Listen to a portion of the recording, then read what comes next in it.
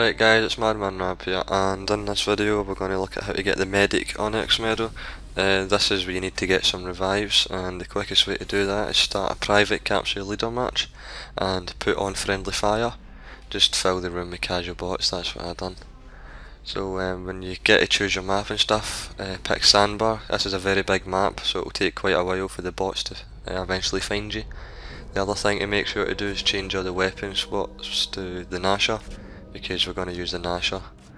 Um, when, the when the game loads up, just run over and pick up some ammo. When you do this, go back to your leader and shoot your leader to down him. You should be able to down him in one shot. Um, so just down him and then revive him, down him and revive him. And just do this until you run out of ammo. When you run out of ammo, you can either finish the game or you can just go and get some more. Uh, it's the fastest way to get this Onyx medal and I hope you enjoyed this tutorial.